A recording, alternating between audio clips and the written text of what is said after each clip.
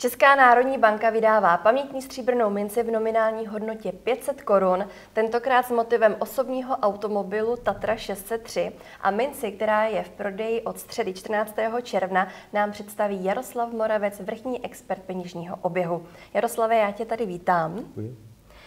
Mince je součástí tematické řady slavné dopravní prostředky. My už tady vidíme ukázky vydaných mincí.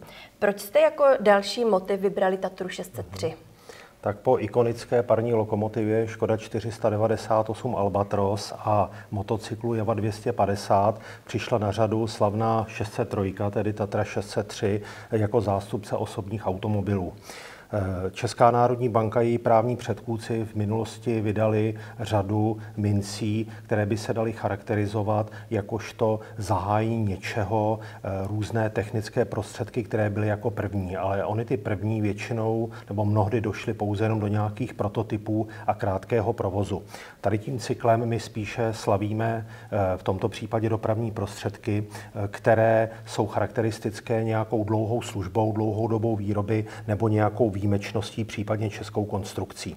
A právě Tatra 603 je automobil, který se vyráběl v letech 1958 až 1975 a vlastně zakončil tradici výroby aerodynamických limuzín, se kterými Kopřivnická Tatra získala ve 30. letech velký mezinárodní zvuk. A stejně jako další mince z této řady je i tato výjimečná, v čem se na první pohled odlišuje?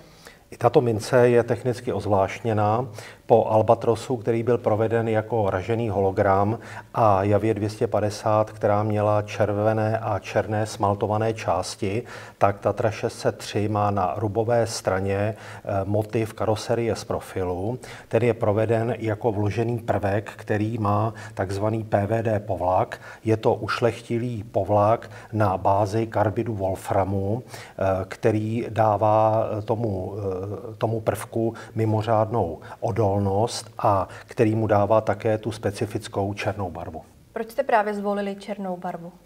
tak Tatra 603 je mimo jiné charakteristická i tím, že její převažující nátěr byl černý, protože byla používána jako oficiální limuzína, i když samozřejmě známe i jiná barevná provedení, včetně různě barevného interiéru. A lišila se nějakým způsobem ražba této mince od standardních ražeb uh-huh. pamětních mincí? Lišila. Nejprve bylo třeba udělat ten vložený prvek. Ten byl v české pobočce společnosti Erlikon v hlavě právě potahován tou PVD vrstvou, tím tím karbidem Wolframu a posléze v České mincovně byl provedena ražba základní části jako vlastně misky, do které se tento prvek vkládal a potom na druhou ražbu došlo k vyrobení celkové mince. A kolik eh, mincí Česká národní banka vydává a jaká je jejich cena? Mm-hmm. Mince eh, Tatra 603 se vydává množství 30 tisíc kusů, z toho přibližně dvě třetiny tvoří mince takzvané špičkové kvality. V numismatice známé jako průvky, to znamená, jejich relief je vysoce matován a mincovní pole je leštěno do zrcadlového lesku a asi třetina připadá na běžnou kvalitu, to je provedení, kdy povrch je celý stejnoměrně povrchově upraven a podobá se eh, mincím běžným obíhajícím, samozřejmě s výjimkou toho toho speciálního vloženého prvku. Eh, mince bude, cena mince bude jako vždy kalkulována na základě eh, obsaženého drahého kovu a také uměleckého a v tomto případě hlavně technického zhodnocení. A samozřejmě nevyjadřuje její nominální hodnota. Mhm. A my tady vidíme i další ukázku. Co nám o ní můžeš říct?